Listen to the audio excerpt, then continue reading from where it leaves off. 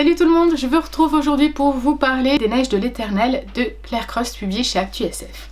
Ce livre est absolument magnifique, j'adore la couverture, elle est vraiment belle, elle évoque la rêverie, le dépaysement, l'évasion. Dans les Neiges de l'éternel, en fait, on va suivre euh, l'histoire de cinq personnages.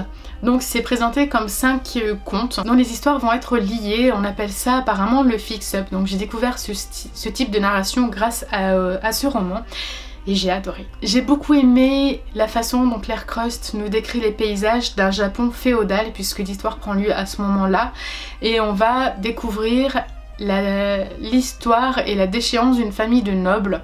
Dans le premier conte, on va suivre Yuki qui part de la maison pour aller chercher un remède pour son frère malade. C'est vraiment le commencement de cette histoire magnifique et c'est Yuki qui va être le lien entre toutes les différentes nouvelles.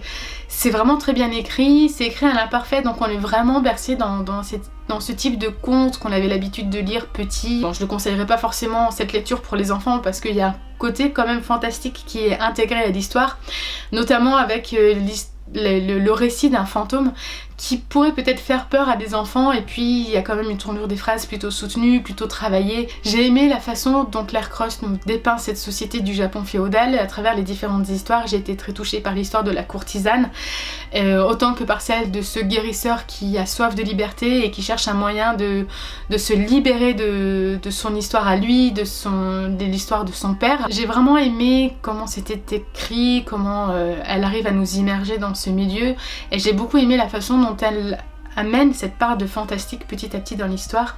Je trouve que c'est un, un, roman qu'il faut absolument lire si vous aimez la fantaisie, si vous aimez le Japon, si vous voulez découvrir un Japon féodal qui vous permet complètement de vous évader et de, voilà, de découvrir une nouvelle auteure en plus française dans une superbe maison d'édition.